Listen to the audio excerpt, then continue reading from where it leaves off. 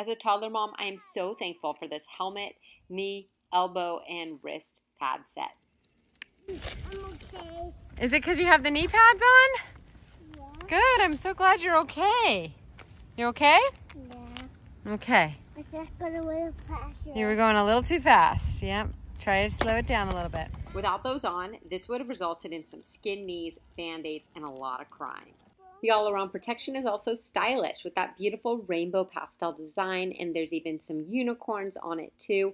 Super cute, easy for them to wear, and it grows with them. It's good for kids ages three to eight. So, my older one, who's almost five, can wear it as well. Plus, you get these wrist guards too. So, if you're rollerblading or roller skating, it could be good for that. And off she goes, despite falling, no big deal because she was protected.